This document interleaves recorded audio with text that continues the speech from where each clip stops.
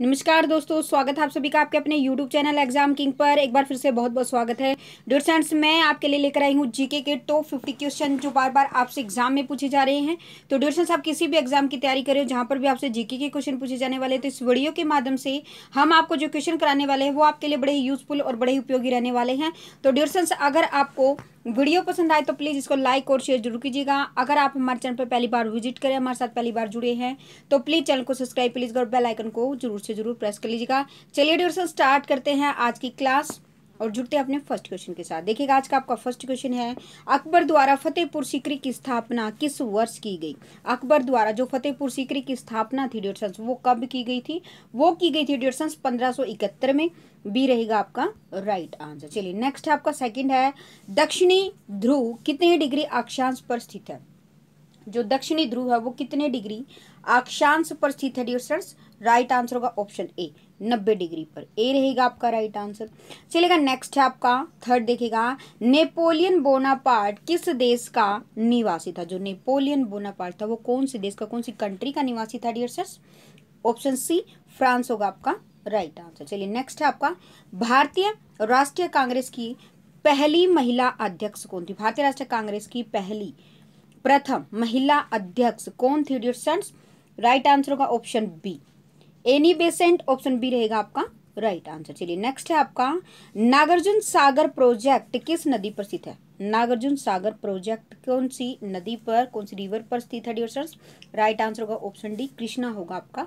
Right answer चलिएगा next है आपका, भारत का पहला पायलट रहित यान का नाम क्या है? भारत के पहले पायलट रहित यान का नाम है डियर ऑप्शन सी लक्ष्य. सी रहेगा आपका राइट आंसर। चलिए नेक्स्ट है आपका, सल्तनत काल के किस शासक ने सर्वप्रथम, यानी सबसे पहले अस्थाई सेना रखने की व्यवस्था की है? तो राइट आंसर होगा option B Alauddin Khilji B रहेगा आपका राइट आंसर चलिए नेक्स्ट है आपका, अंतर्राष्ट्रीय श्रम संगठन का मुख्यालय कहाँ पर स्थित है? अंतर्राष्ट्रीय मुख्यालय, अंतर्राष्ट्रीय श्रम संगठन का जो मुख्यालय है, वो है डियर राइट आंसर रहेगा ऑप्शन सी जिनेवा में। सी होगा आपका राइट आंसर चलिए नेक्स्ट है आपका नेक्स्ट देखिएगा। वर्णाधता रोग किस प्रकार का रोग है? तो राइट आंसर होगा ऑप्शन बी अनुवांशिक ऑप्शन बी रहेगा आपका। राइट आंसर नेक्स्ट एडिशन आपका, भारत में सर्वप्रथम, यानी सबसे पहले गठित सहकारी समितियाँ कौन सी थी? कौन सी थी डिशन ऑप्शन ए कृषि सहकारी समितियाँ ए होगा आपका। राइट आंसर चलिए इलेवन आपके लिए। विक्टोरिया द्वीप किस महासागर में स्थित है? विक्टोरिया द्वीप कौन से महासागर में स्थित है? डिस्टेंस ऑप्शन ए प्रशांत महासागर होगा आपका। राइट आंसर चलिए नेक्स्ट है आपका, गुमेतेश्वर की मूर्ति कहाँ पर स्थित है? तो कहाँ पर स्थित है? ऑप्शन सी स्वर्ण बेल गौला ऑप्शन सी होगा आपका। राइट आंसर चलिए थर्टीन के साथ जुड़ेगा। बाबर का मकबरा कहाँ पर स्थित है डियर बाबर का जो मकबरा, वो काबुल में स्थित है डी होगा आपका राइट आंसर नेक्स्ट आपका, सर क्रीक कहाँ पर स्थित है? Sir Creek. राइट आंसर रहेगा ऑप्शन ए कच्छ के रन ए होगा आपका राइट आंसर फिफ्टीन आपके लिए, निगम कर किस कर के अंतर्गत आता है? जो निगम कर होता है, वो कर किसके कौन से कर के अंतर्गत आता है ऑप्शन ए केंद्र, सरकार की प्रत्यक्ष कर के अंतर्गत आता है निगम कर ए होगा आपका राइट आंसर। चलिए सिक्सटीन है आपके लिए। 1942 में 1942 में, टोक्यो में इंडियन इंडिपेंडेंस लीग की स्थापना किसने की थी डियर सर तो राइट आंसर रहेगा यहाँ पर आपका ऑप्शन सी रास बिहारी बोस। सी रहेगा आपका राइट आंसर चलिए सेवनटीन आपके लिए। कोपेन हेगेन किस देश की राजधानी है? कौन से देश की है? ऑप्शन ए डेनमार्क होगा आपका राइट आंसर नेक्स्ट है आपका एटीन अन्नपूर्णा पर्वत शिखर किस देश में स्थित है? अन्नपूर्णा पर्वत शिखर. डियर स्टूडेंट्स कौन से देश में स्थित है? ऑप्शन बी नेपाल होगा आपका राइट आंसर चलिए नेक्स्ट आपका नाइनटीन देखिएगा. प्रथम भारतीय नोबेल पुरस्कार विजेता रविंद्रनाथ टैगोर को साहित्य के क्षेत्र में किस वर्ष नोबेल पुरस्कार प्रदान किया गया? ऑप्शन सी 1913 1913 में 1913 में सी होगा आपका राइट आंसर चलिए नेक्स्ट है आपका। पंद्रह ईस्वी में दीन ए इलाही की घोषणा किस मुगल शासक के द्वारा की गई थी? तो कौन से मुगल शासक के द्वारा की गई थी? राइट आंसर होगा ऑप्शन ए अकबर के द्वारा की गई थी। ए होगा आपका राइट आंसर चलिए नेक्स्ट है आपका। बी डी सावरकर ने 1904 में अभिनव भारत की स्थापना कहाँ की है? ड्यूसेंट्स ऑप्शन सी लंदन में की है ड्यूशन सी रहेगा आपका राइट आंसर चलिए ट्वेंटी टू है। अमृत्य सेन को सन उन्नीस सौ अठानवे में किस क्षेत्र के लिए नोबेल पुरस्कार प्रदान किया गया?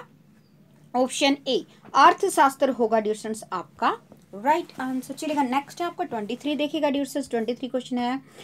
क्रायोलाइट किस धातु का आयसक है? क्रायोलाइट राइट आंसर होगा ऑप्शन सी एल्मोनियम सी रहेगा आपका राइट आंसर ट्वेंटी फोर आपके लिए, पीलिया रोग संबंधित, पीलिया रोग से संबंधित अंग का नाम हमने बताना है। पीलिया रोग से संबंधित अंग कौन सा है?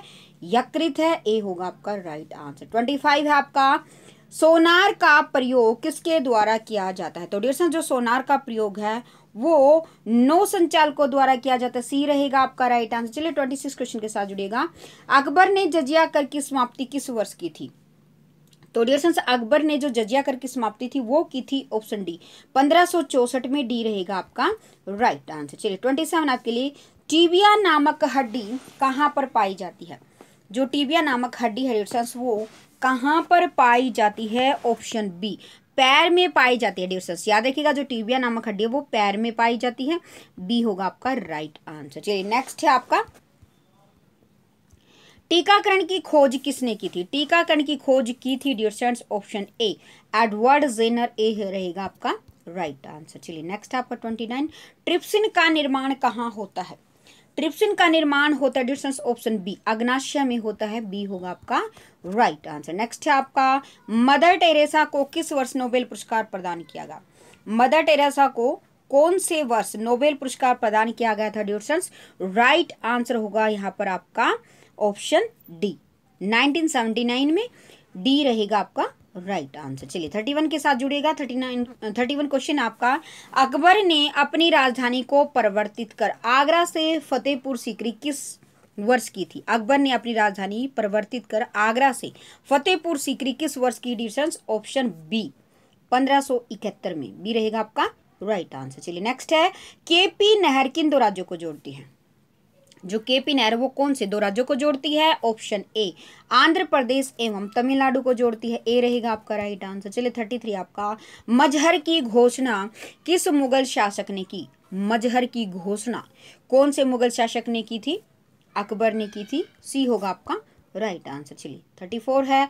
हर गोविंद खुराना को सन उन्नीस सौ अड़सठ में 1968 में किस क्षेत्र के लिए नोबेल पुरस्कार प्रदान किया गया था?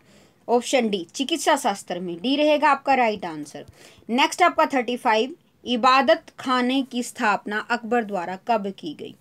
तो कब की गई डिस्टेंस ऑप्शन डी पंद्रह पिचहत्तर में की गई थी। डी रहेगा आपका राइट आंसर चलिए थर्टी सिक्स आपका। यक्षगान लोक नृत्य का संबंध किस राज्य से है? राज्य का नाम हमने यहाँ पर बताना है तो ऑप्शन ए कर्नाटक रहेगा आपका राइट आंसर चलिए थर्टी सेवन आपके लिए भौतिक शास्त्र के क्षेत्र में चंद्रशेखर विकेट रमन को किस वर्ष नोबेल पुरस्कार प्रदान किया गया? ऑप्शन ए 1930 में 1930 में। ए होगा आपका राइट आंसर 38 आपके लिए तीर्थ यात्रा पर लगने वाले कर को किस मुगल शासक ने समाप्त किया था? राइट आंसर होगा ऑप्शन सी अकबर ने समाप्त किया था डिविजन सी होगा आपका राइट आंसर नेक्स्ट आपका थर्टी नाइन. अकबर ने दास प्रथा का अंत किस वर्ष किया? तो डिविजन जो अकबर ने दास प्रथा का अंत किया था, वो किया था पंद्रह में ए होगा आपका राइट आंसर नेक्स्ट है आपका वेंकेटर रमन कृष्ण को 2009 का नोबेल पुरस्कार किस क्षेत्र के लिए प्रदान किया गया? वेंकट रमन को डियर सन्स 2009 का जो नोबेल पुरस्कार है, वो किस क्षेत्र के लिए दिया गया था? राइट आंसर होगा ऑप्शन बी रसायन शास्त्र. चलिए 41 देखिएगा. आग पकड़ने के लिए न्यूनतम प्रवर्त फाइबर है। कौन सा फाइबर है? Option C. सूती फाइबर एडिशन सी रहेगा आपका, राइट आंसर। नेक्स्ट आपका फोर्टी टू देखेगा गौतम बुद्ध के जन्म का प्रतीक कौन सा जानवर है? तो गौतम बुद्ध के जन्म का जो प्रतीक है वो है ऑप्शन बी, कमल और सांड। बी रहेगा आपका, राइट आंसर। चलिए नेक्स्ट आपका फोर्टी थ्री। बीजापुर के गोल गुम्बज को किसने बनवाया? बीजापुर के गोल गुम्बज को बनवाया था option C, Yusuf Adil Shah. C रहेगा आपका राइट आंसर चलिए फोर्टी फोर आपके लिए। वॉलीबॉल वॉलीबॉल खेल के प्रत्येक टीम में कितने खिलाड़ी होते हैं? डियर स्टूडेंट्स राइट आंसर होगा ऑप्शन बी सिक्स होते हैं छः होते हैं। तो डिस्टेंस बी रहेगा आपका राइट आंसर चलेगा फोर्टी फाइव देखिएगा। लाफिंग गैस किसे कहा जाता है? Option A N two O A रहेगा आपका। राइट आंसर फोर्टी सिक्स आपके लिए, पृथ्वी का सबसे निकटतम ग्रह कौन सा? तो डिस्टेंस जो पृथ्वी का सबसे निकटतम ग्रह है, वो है शुक्र ग्रह। पृथ्वी का सबसे निकटतम ग्रह शुक्र ग्रह है डी होगा आपका। राइट आंसर चलिए, आपका फोर्टी सेवन है। भगवत गीता किस भाषा में लिखी गई? तो डिस्टेंस भगवत गीता जो लिखी गई है, वो ऑप्शन सी संस्कृत भाषा में लिखी गई है सी होगा आपका। राइट आंसर चलिए फोर्टी एट आपका। वायुमंडलीय दबाव को किसके द्वारा मापा जाता है? तो डिस्टेंस वायुमंडलीय दबाव को मापा जाता है ऑप्शन बी, बैरोमीटर द्वारा बी होगा आपका राइट आंसर। चलिए, ना, फोर्टी नाइन देखिएगा। सुभाष चंद्र बोस हवाई अड्डा कहाँ पर स्थित है? सुभाष चंद्र बोस हवाई अड्डा जो स्थित है, वो है कोलकाता में। डी रहेगा आपका राइट आंसर। चलिए, आज का आपका लास्ट क्वेश्चन है डिस्टेंस गायत्री मंत्र का उल्लेख किस वेद में मिलता है? तो गायत्री मंत्र का जो उल्लेख है डिस्टेंस वो मिलता है ऋग्वेद में ए होगा आपका राइट आंसर तो डिस्टेंस ये थे आपके जीके के टॉप फिफ्टी क्वेश्चन जो बार बार आपसे एग्ज़ाम में पूछे जा रहे हैं. तो डिस्टेंस अगर आपको वीडियो पसंद आई है तो प्लीज़ इसको लाइक और शेयर ज़रूर कीजिएगा. अगर आप हमारे चैनल पर पहली बार विज़िट करें, हमारे साथ पहली बार जुड़े हैं तो प्लीज़ चैनल को सब्सक्राइब कर लीजिएगा और बेल आइकन को ज़रूर से ज़रूर प्रेस कर लीजिएगा. तो चलिए डिस्टेंस मिलते हैं अपनी नेक्स्ट वीडियो में कुछ और महत्वपूर्ण क्वेश्चन के साथ. तब तक डिस्टेंस सभी को जय हिंद, जय भारत, वंदे मातरम एंड टेक केयर